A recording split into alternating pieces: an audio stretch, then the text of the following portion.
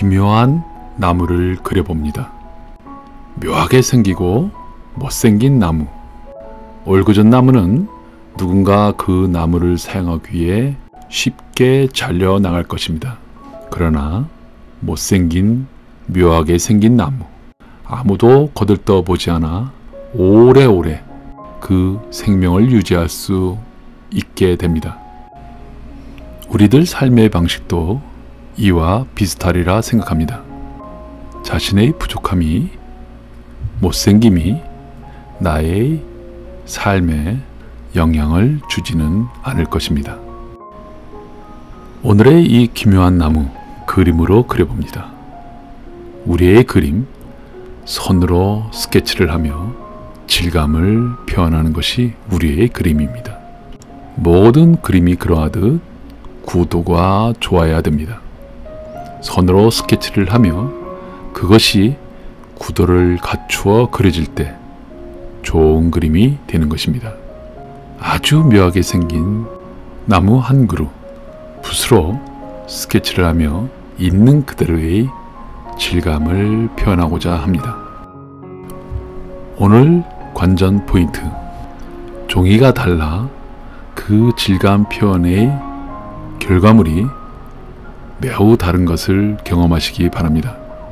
지금의 스케치, 지금의 그림, 종이는 A4 용지와 같은 스케치북입니다. 이 종이에서 느껴지는 선, 점, 그것의 질감의 느낌, 이후에 한지에 그려진 선의 질감을 비교하시기 바랍니다. 먹을 묻힌 붓의 종이에 미끄러지며 선을 남길 때 분명 종이에 따라 크게 그 질감이 달라집니다. 붓이 종이 위에 흐를 때 종이에 묻어지는 먹의 농도, 분산되는 먹의 흐름이 그림의 전체 분위기를 만드는 것입니다. 조금은 건조하고 딱딱한 느낌의 붓 놀림이 되는 것입니다.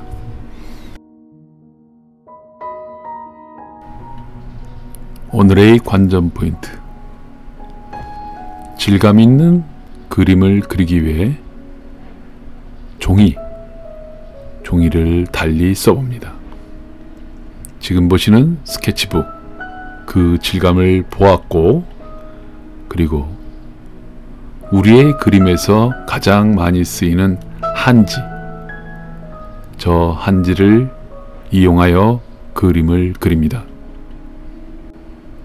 종이를 하드보드 위에 덮어 판넬로 사용하고자 위와 같이 만들었습니다.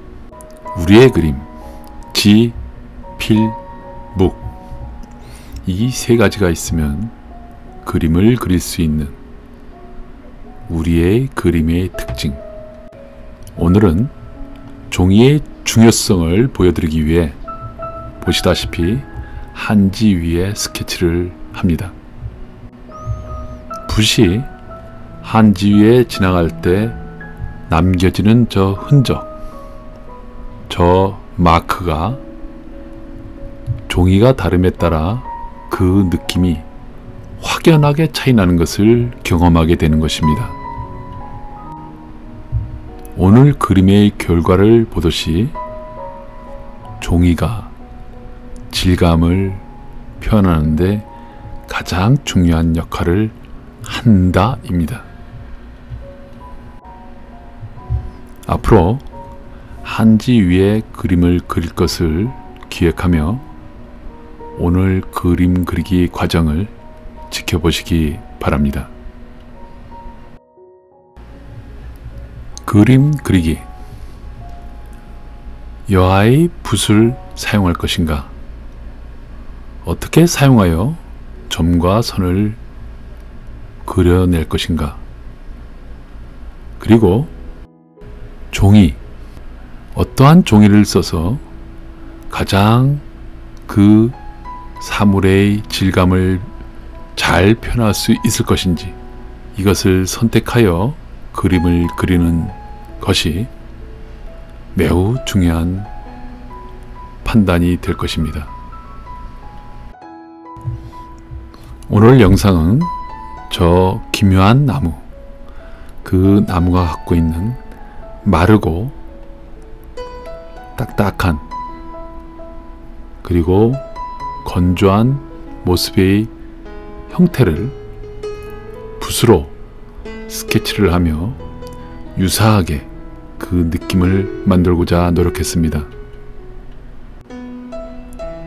여기에 더해 보여지는 색들을 입혔을 때 좀 더 사실적인 질감이 표현되는 것입니다.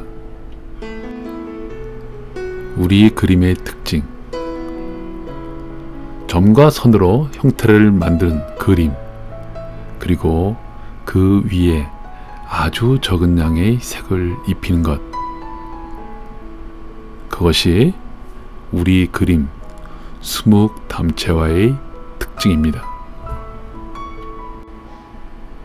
선이 점이 더해질 때마다 형태가 갖춰지며 저 나무의 느낌이 전달될 때 우리는 그 그림이 좋은 그림이다라고 판단이 되는 것입니다.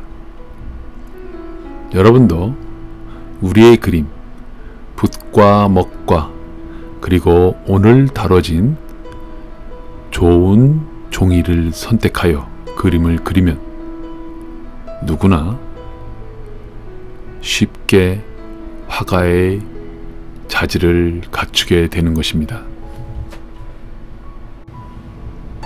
붓을 들고 먹을 찍어 종이 위에 흔적을 남기시기 바랍니다.